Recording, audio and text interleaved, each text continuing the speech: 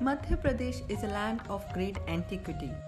It is the home of monuments representative of various periods of history.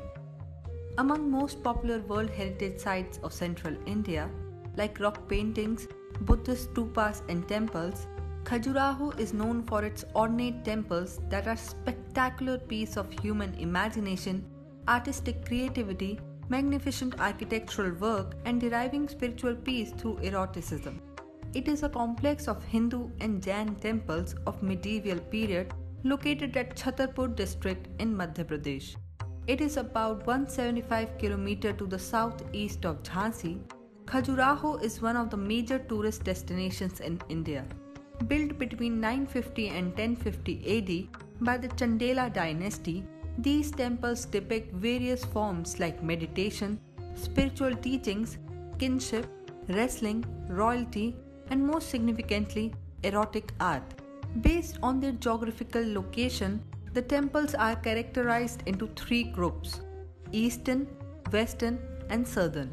Beautiful, intricate, and expressive, the sculptures of the Khajuraho temples will leave you in awe and wonder.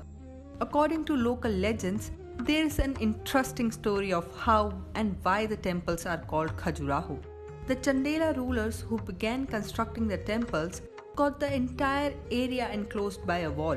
The wall had about 8 gates that were primarily used for entry or exit. It is said that each gate was flanked on either side by date and palm trees. The name was derived from these very trees and the temples were called Khajura Vahika. In the Hindi language, Khajura means date palm and Vahika means bearing. The Chandelas built the Khajuraho temples while they ruled the region. Over the centuries, the Chandela Empire began to wane, and as a result, these magnificent structures lay neglected. Even worse, they were very vulnerable to the dangers of subsequent invaders and rulers that destroyed many of the temples. So, from about 13th century to 18th century, Khajuraho temples remained in forest cover, away from popularity till it was rediscovered by the British engineer T.S. Burt.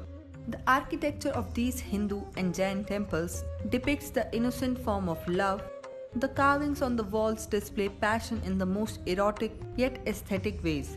The sheer confrontational nature of these carvings show a stark paradox with the conventional Indian idols about eroticism, leaving everybody spellbound.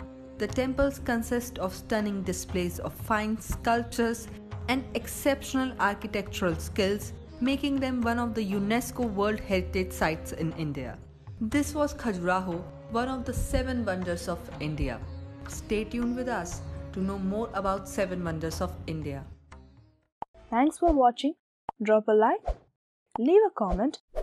Please don't forget to subscribe our channel Design Historics. Get more updated videos from now. Click on the bell button below to get notified. See you people in the next video. Till then, it's a bye from Design Historics team.